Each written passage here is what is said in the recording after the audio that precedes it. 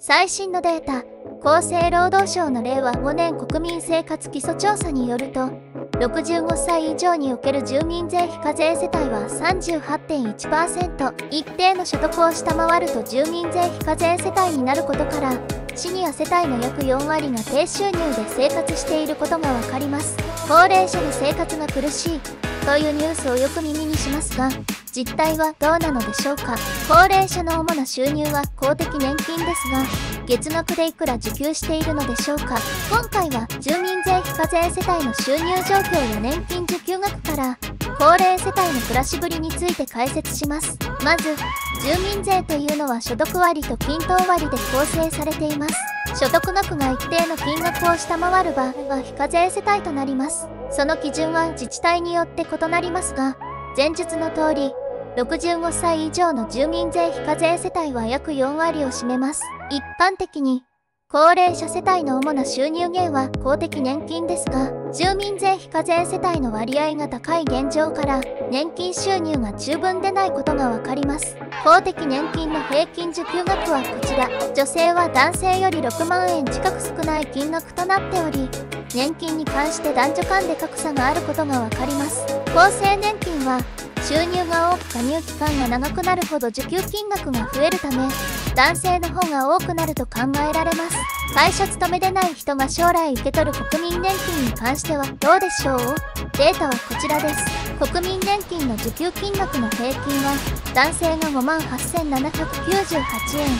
女性は5万4426円です。国民年金は厚生年金と異なり収入の大小は受給額に直接影響しないため男女の格差は小さいと考えられます。自営業者やフリーランスの方は厚生年金がなく会社員として勤務した経験がなければ国民年金のみの受給です。国民年金だけでは平均で5万円ほどしか受給できないため生活資金を別に用意しておかないと困窮することになるでしょう。ここまで見てきた結果から年金の受給額は必ずしも多くなくこれだけで老後生活を支えるのは難しいと感じた方が多いでしょう。ではこのように現役時代から将来年金受給額が低いことが予測できるが年金生活への備えはどうすればいいのでしょうか？その具体的な方法をお伝えします。年金だけでは不足する生活資金について具体的な対策方法はこちらです。それぞれのデータを用いながら詳細を解説します。1つ目若いうちから貯蓄や資産形成を進めるです若い世代でも年金だけでは老後の生活が難しいことをすでに認識している方は多いでしょう。老後まで時間があるうちに早めに資産形成を進めることが将来の安心につながります。毎月の収入から一定額を先取りで貯蓄し余ったお金で生活する習慣を身につけましょう。ここで多くの若者が間違いやすいのがネットで騒がれている YouTuber や有名な投資家を真似して自分も一攫千金を狙えると勘違いしお金を失うパターンです。素養素地簡単に言うと才能ですが誰にでもあるわけではありません。努力や経験でカバーしようとするとそれなりの勉強と年数が必要です。投資に関して言えばそもそも投資するお金も少額で100万円程度では大したことはできません。いや DNF さんのように160万円を200億円にしてる人だっているじゃないかという人もいます個人的に止めませんがではやってみてくださいただし自己責任として周囲には迷惑をかけないことですまずは社会人としてきちんとお金を稼ぎ貯めてそして預貯金が増えたら新 nisa や iDeCo で投資にチャレンジするのも良いでしょう2つ目60歳以降も厚生年金に加入しながら働くです。60歳で定年を迎えても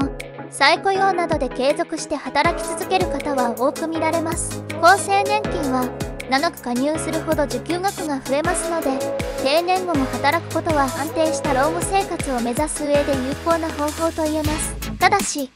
一般的に再雇用になると給与が大きく減るため家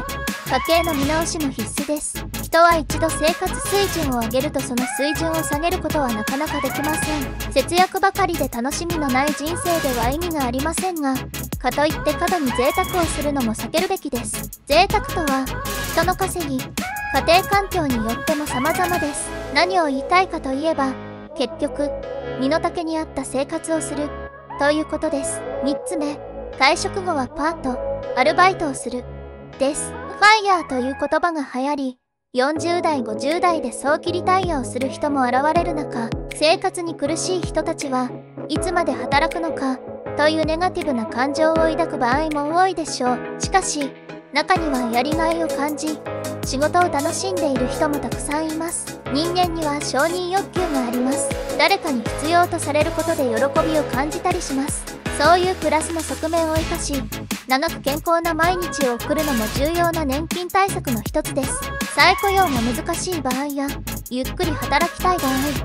パートやアルバイトでもいいでしょう。人手不足でシニア世代を歓迎する職場は増えていますので様々な方法で仕事を見つけられるでしょう。補足として老後も元気に働くにはバランスの取れた食事や定期的な運動習慣などを心がける必要があります。これも投資の一つでもあります。健康な体というのは最も大きな資本です。4つ目年金の受給を繰り下げるです年金を増やすためには受給の時期を繰り下げるのも一つの方法です。わかりやすい表がこちら。受給を1ヶ月遅らせると0.7%増えるため、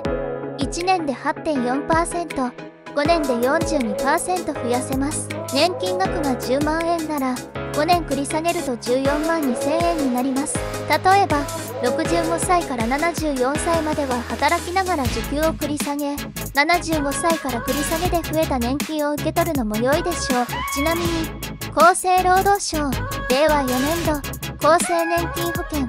国民年金事業の概況によると70歳時点で国民年金の繰り下げをしている世帯の数と全体における割合はこちらです繰り下げをする方は全体では少数派ですが時系列で少しずつ増えていることがわかりますただし最近では60歳から繰り上げて年金をもらう方が実は得をするという話もありますこれは特に男性の寿命を想定してシミュレーションされているケースです。いつまで生きるかによってそのシナリオは大きく変わるので、この動画では言及せず、詳しくはまた別の動画でご紹介したいと思います。最後にまとめとして老後の年金暮らしはそれほど余裕はないのが現実です。かつて年金生活は悠々自適のイメージを持たれていましたが現在は年金だけで老後の生活を支えるのは非常に難しくなっています。実際に厚生労働省の調査結果からも年金の受給金額は平均で20万円未満であり毎月の支出には足りないと感じる方が多いでしょう。今回確認した通り所得が少ないため住民税非課税世帯に該当するシニア世帯も多く見られます。年金で不足する分については老後に大変な思いをすることがないよう現役時代から少しずつでも対策しておくことが大切です。以上65歳以上の住民税非課税世帯。年金受給額老後の現実老後への備えに関する解説でした。ご視聴ありがとうございました。